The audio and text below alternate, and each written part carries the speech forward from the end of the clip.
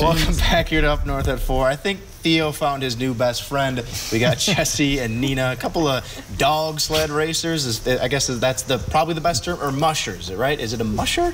Uh, dog sled racer, musher. I mean, the what you general people say musher, but Okay. we always say dog sled racer. Okay, so I, I- I guess I got to just learn the nomenclature Okay. at some point. But there is a big uh, convention going on tomorrow. Could you just tell us about what that's all about? What's going on with that? Sure. So we have the International Sled Dog Racing Association convention tomorrow. Uh, so it's basically awarding a lot of the top sprint mushers uh, in the nation here um, with some medals and stuff for competing this season. But we also have uh, speakers and workshops and stuff. And our main speaker is Jessie Holmes here, who's a star on the Life Below Zero TV show. What's it like to be a rock star? Yeah, I don't really feel like that. You know, maybe in Alaska you kind of get recognized yeah. a lot. I mean, you're- I don't know. you're- you're I, I live out in the bush, so I don't.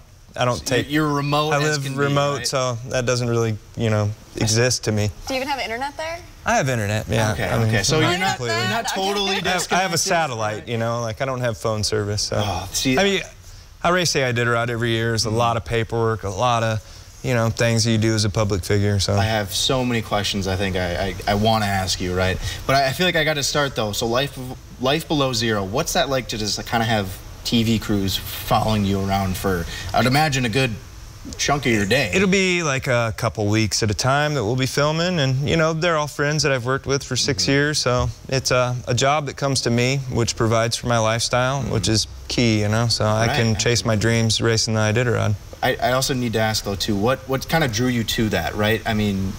I, when someone goes, yeah, I'm gonna go live remote out in the Alaskan bush. uh, Normally, I'm like, Ugh. Well, ask him where he's from first. yeah, where are you from? I I'm from ask. Alabama originally, but So you not- know, that's not unnormal up where we live. You know, people like everybody, even like people that live in town like Fairbanks, it's like they have dry cabins.